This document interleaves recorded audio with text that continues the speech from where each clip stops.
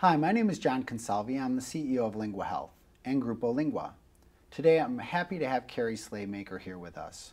She has extensive experience working with bilingual children and children with autism. Thanks for coming, Carrie. Oh, thanks for having me. It's great to be here. What does a speech language pathologist need to consider when attempting to implement a new system of communication for a child with autism? Well, there are so many things to consider when we're looking at a mode of communication for a child with autism. But I'd say one of the most important things to consider is first looking at either the student and or the student's family's wants, desires. What are their needs for communication? I think a lot of times as speech pathologists, we might look at what we think would be the best mode of communication, but sometimes starting by just sitting down and having a conversation with the family and with the child is a great place to start. After that, you definitely want to look at what type of obstacles there might be that would inhibit the overall communication success of that mode of communication that's chosen.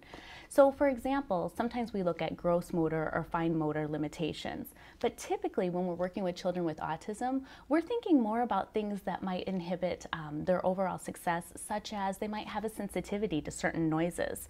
So if we're looking at something like a voice output device, it might not work because the noise is going to bother them and they're just simply not going to use the device. We also might want to look at things such as blinking lights or their inability to track different um, icons on a page. So there are a lot of things for us to consider what might be a potential obstacle before we start choosing things that we might want to trial. A couple other things that we might want to look for is with whom is that person going to be communicating? We want to look at them in all of their environments. So we think about the home environment, maybe their academic environment, and also in their community to make sure they'll be successful in all of these communicative environments.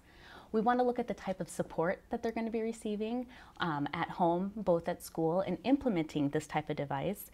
And um, also, something that we have to think about is some type of high-tech device is indicated. Where's the funding going to come for, from in order to purchase that device? And then finally, especially with our children with autism, we want to consider what is their reason for communication as we always say, if we don't have a motivating factor for them, we don't have therapy. So we need to look at before we even start to implement what's motivating for that student so we can really help to make a successful choice in choosing a mode of communication. Carrie, thank you very much for coming to talk to us today.